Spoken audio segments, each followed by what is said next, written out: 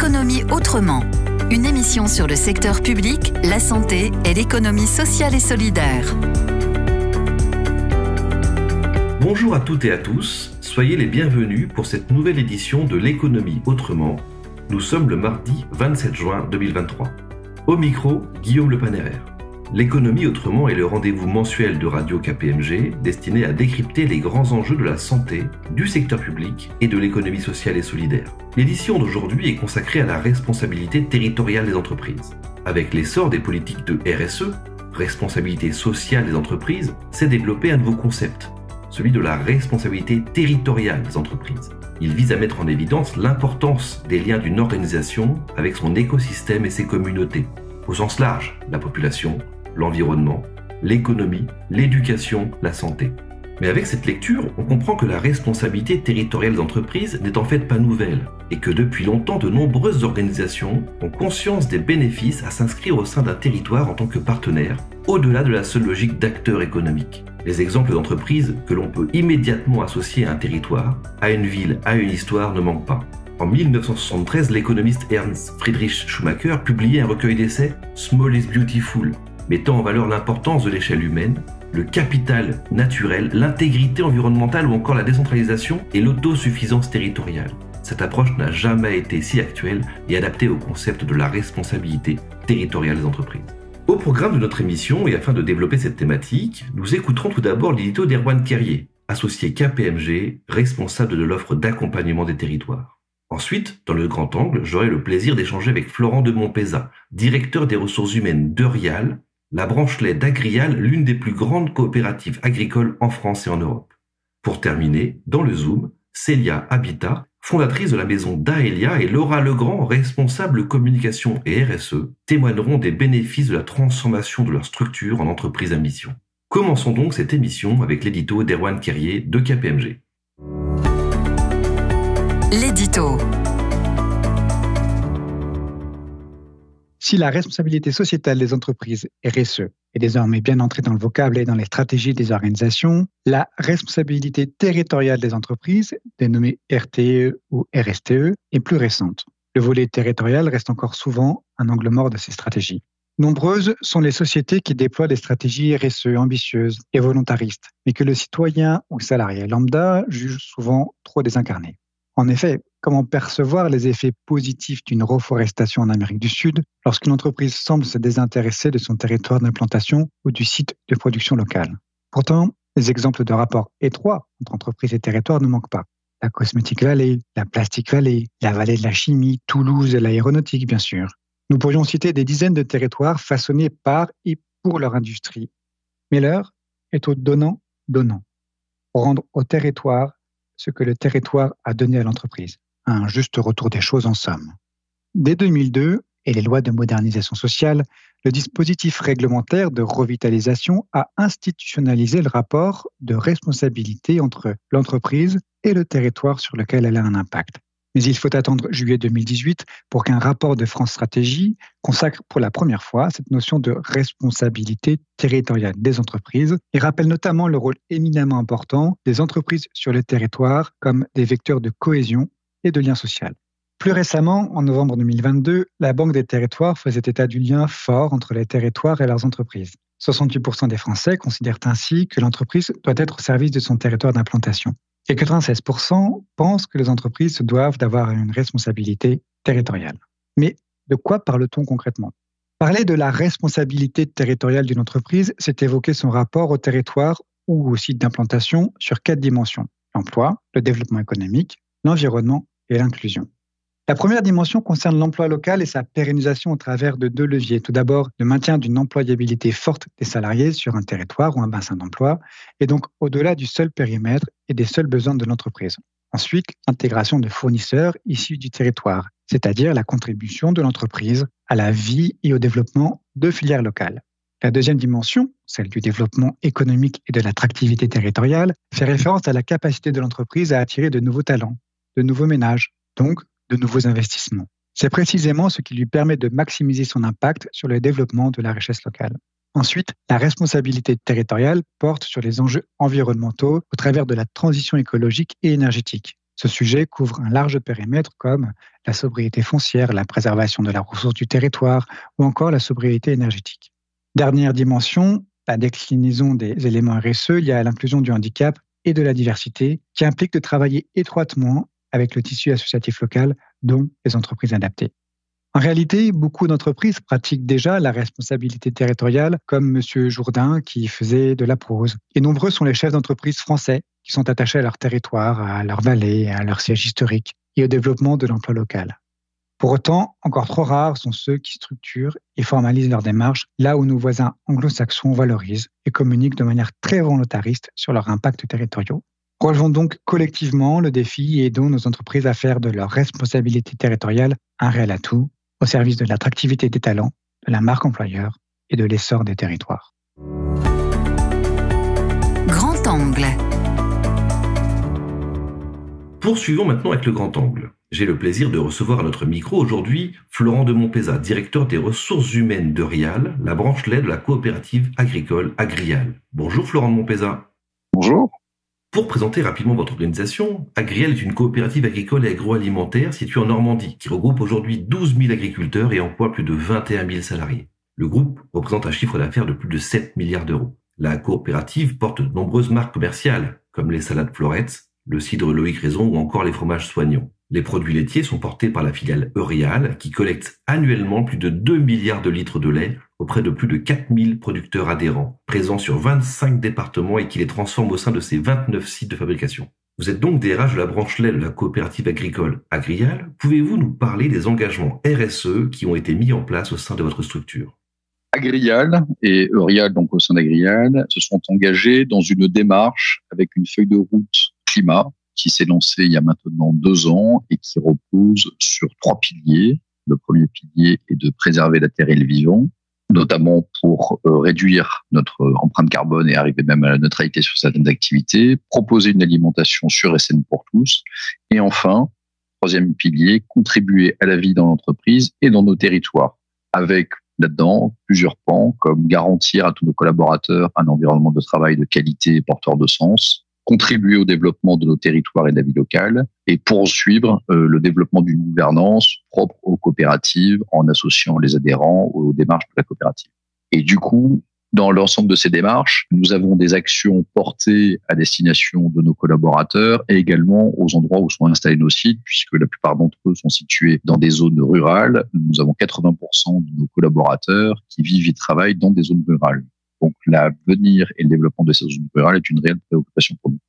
Le thème de notre émission porte sur la responsabilité territoriale des entreprises. On imagine que l'attachement au territoire est une valeur importante et historique pour des coopératives agricoles comme Agrial. Alors effectivement, elle, elle est euh, à double titre. Nos actionnaires sont des agriculteurs. Ils sont évidemment attentifs à leur territoire, au développement de leur entité euh, de travail, au devenir aussi que cela peut offrir pour euh, leur famille, leurs amis, ils ont une attention très particulière à la façon dont nous pouvons gérer nos affaires en tant qu'opérationnels.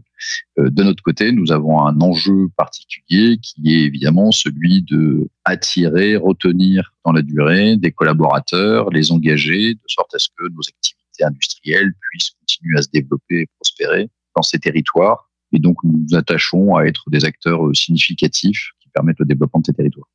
Et plus concrètement, Florian Montpeza, comment cette responsabilité territoriale se traduit-elle dans les politiques qui sont mises en œuvre par Eurial? Elle se traduit de plusieurs manières. Euh, la première, euh, c'est de façon concrète, nous investissons régulièrement dans nos outils industriels existants et futurs. Nous avons un, un train d'investissement qui tourne entre 70 et 80 millions d'euros par an. Nous avons été amenés à refaire à neuf deux de nos sites industriels importants. Nous avons reconstruit une usine en Vendée. Euh, nous avons construit un, entrepôt euh, dans la région Niort. Nous avons doublé la capacité, tout cela en moins de trois ans. Euh, et nous réfléchissons à redévelopper notre site pour notre marque phare Soignons. Nous avons également des enjeux d'attractivité, des actions sur les territoires avec les organes de formation, soit les collèges, les lycées. Nous avons également des actions avec nos, activités font vivre plusieurs sous-traitants dans différents d'activité. Et donc, de façon très concrète, nous nous attachons à maintenir ces euh, dynamiques sur les territoires où nous sommes implantés.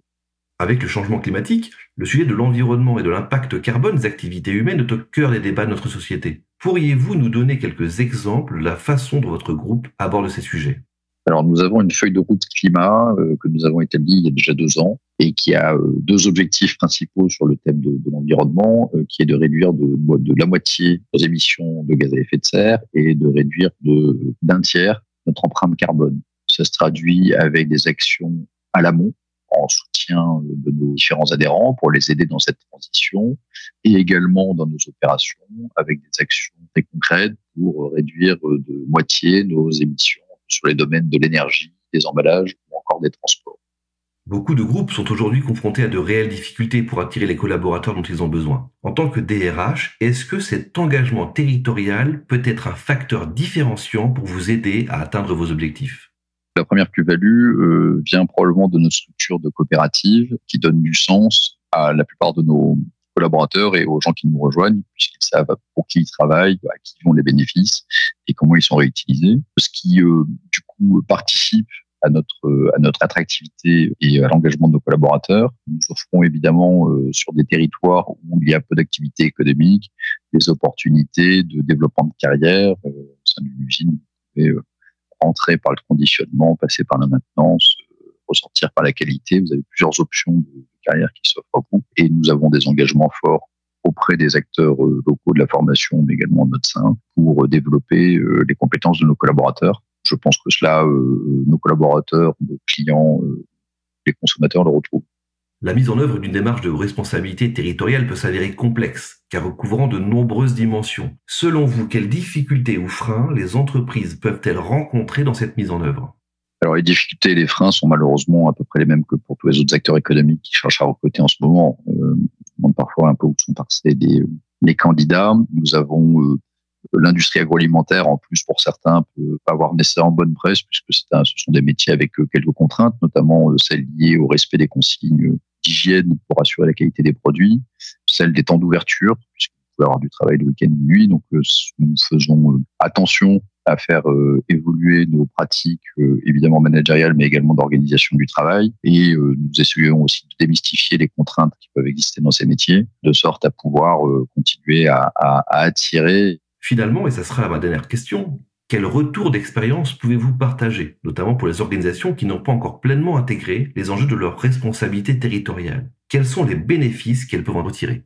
Les bénéfices euh, qu'une entreprise peut tirer à faire attention à son empreinte territoriale sont d'abord de pouvoir maintenir euh, son asset humain de sorte à pouvoir maintenir leur euh, asset industriel. Aujourd'hui, avoir des, des, locaux, des machines sans collaborateurs pour les faire fonctionner, cela n'a pas de sens. Et donc, si quelqu'un veut pouvoir valoriser ses assets, il a intérêt à avoir des collaborateurs qui puissent participer à leur entretien et à leur fonctionnement. Tout cela amène effectivement à avoir un réseau économique se maintenir et se développer, les écoles, les commerces de proximité. Et donc, le fait de s'intéresser à la dynamique du territoire, y participer, y contribuer, y compris dans le, dans le monde associatif, permet euh, de continuer à développer et à ancrer ces activités dans les territoires. Merci Florent Montpeza pour cet échange très intéressant. Merci à vous. Le Zoom. Dernière rubrique de l'émission Le Zoom. Aujourd'hui, je reçois au micro Célia Habitat, fondatrice de la maison Daelia, un centre d'accueil non médicalisé pour les personnes âgées en perte d'autonomie, situé dans le 16e arrondissement à Paris. Célia Habitat, vous êtes accompagnée par Laura Legrand, responsable communication et RSE de la maison Daelia. Bonjour à toutes les deux. Bonjour. Bonjour. La maison Daelia porte une approche singulière dans l'assistance aux personnes âgées. Quelles en sont les spécificités? La maison d'Aelia, donc euh, comme vous l'avez dit, est un centre non médicalisé d'accueil et de stimulation de la personne âgée. Le postulat de base est que 80% au moins des personnes âgées souhaitent vieillir à leur domicile. Donc, on a essayé de monter une approche, un concept qui permette ce maintien à domicile en considérant qu'on était le chaînon manquant. Est-ce qu'il y avait en France un interstice, un creux au niveau euh, du maillage entre le maintien à domicile de la personne et l'entrée en institution. Oui, il y avait une possibilité, je dirais de façon un peu triviale comme un trou dans la raquette, de cet espace possible où on puisse aller chercher les gens chez eux, les accueillir dans des centres à la demi-journée, à la journée complète, aux trois quarts de journée, leur permettre d'être stimulés au niveau du corps et au niveau de l'esprit et de pouvoir être raccompagnés ensuite à leur domicile. Donc la maison d'Aïlia a vraiment été euh, pensée comme ça, comme une réponse à un enjeu sociétal, économique, de santé publique majeur, et de pouvoir lutter contre l'isolement en maintenant le lien social, en renforçant l'autonomie des personnes âgées et en préservant leurs facultés motrices et cognitives, en maintenant l'estime de soi, en participant au droit au répit des familles et des aidants, et en retardant autant que faire se peut l'entrée en EHPAD ou en maison de retraite, puisque aujourd'hui c'est ce que les personnes âgées souhaitent. Donc, euh, du fait de sa non-médicalisation, Maison d'Aélia offre à ses bénéficiaires vraiment une extension de leur domicile qui s'intègre vraiment dans le, si vous voulez, dans la chaîne de valeur du bien vieillir, tel que le souhaitent aujourd'hui nos personnes âgées. Vous avez initié récemment une évolution de votre structure en entreprise à mission. Pour une organisation comme la vôtre, par ailleurs relativement récent, puisque fondée en 2017, qu'est-ce qui a motivé cette démarche? Pourquoi avez-vous besoin de définir, voire de redéfinir votre contribution sociétale? On est une toute petite structure qui a hum, évolué, qui s'est euh, adossée, qui s'est calée, qui a repensé tout le temps son modèle. Il y a eu le Covid avec des demandes très différentes, des demandes des familles en particulier, aussi également des aidants et on s'est rendu compte que ce, cette approche, ce concept, utilisait tout le temps la RSE, mais de façon, j'allais dire, spontanée, non construite, non formalisée. Et l'arrivée de, de, Laura Legrand dans la structure, avec son, expertise sur le plan de la RSE, euh, son âge aussi, son envie, son engouement vers cette, approche, nous a vraiment stimulés et nous a, c'est elle en fait qui, est à l'origine de ce positionnement et de cette volonté de structurer l'approche RSE et sociétale de l'entreprise. Il se trouve également que, un petit peu à mon insu, dans l'accompagnement de la personne âgée, dans nos centres qui sont tout petits, qui ne reçoivent jamais plus de 10 personnes à la fois, on a des jeunes qui interviennent.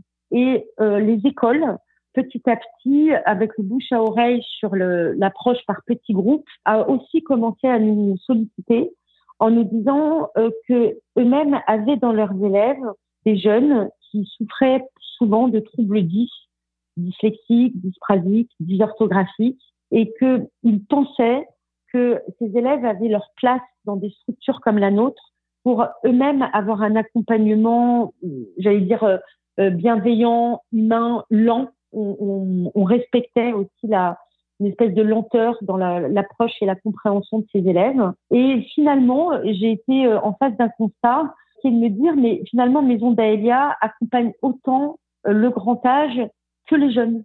Et c'est en fait euh, dans le cadre de, de, de, cet accompagnement RSE qu'on a pu construire cette approche globale où on était entre guillemets vertueux autant vis-à-vis de la personne âgée que des jeunes accompagnés. C'est grâce euh, à l'approche qu'on a pu mettre en place via l'expertise de Laura Legrand et de KPMG que l'approche a été construite et finalisée. Mais je pense que c'est Laura qui peut en parler le mieux dans le détail de l'approche.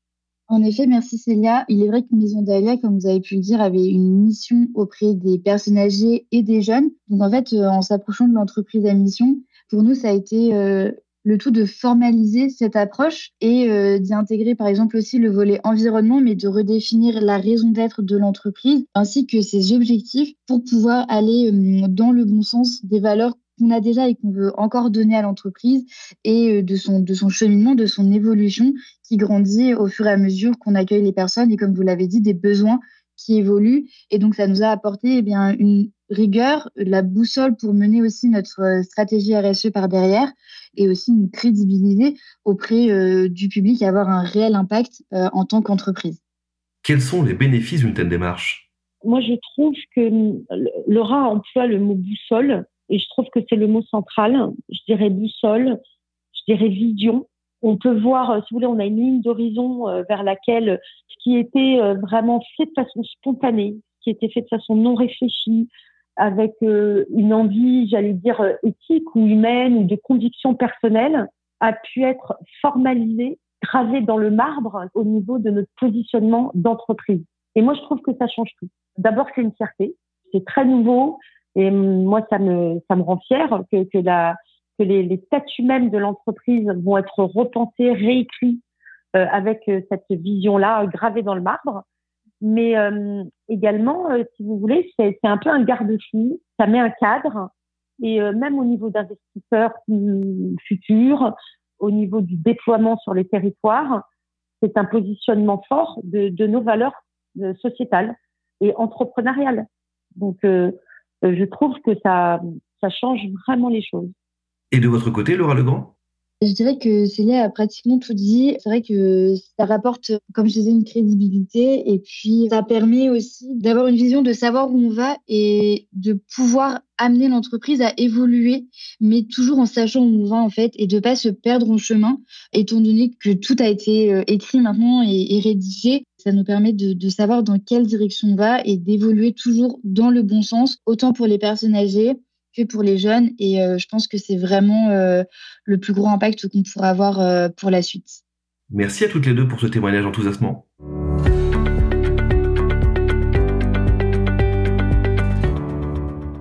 Ainsi se termine cette dernière édition de l'économie autrement de la saison. Je tiens à remercier encore nos invités et tous les contributeurs à cette émission tout au long de l'année. Vous êtes toujours aussi nombreux à nous écouter et nous en sommes très heureux. Nous vous retrouvons avec toute l'équipe de l'économie autrement en septembre prochain pour une nouvelle saison. Cet été, vous pouvez écouter ou réécouter toutes nos émissions sur l'application mobile Radio KPMG, à télécharger dans l'Apple Store ou Google Play, mais aussi sur les principales plateformes numériques, dont kpmg.fr. Je vous souhaite un très bel été. Kenavo. L'économie autrement, une émission de Radio KPMG.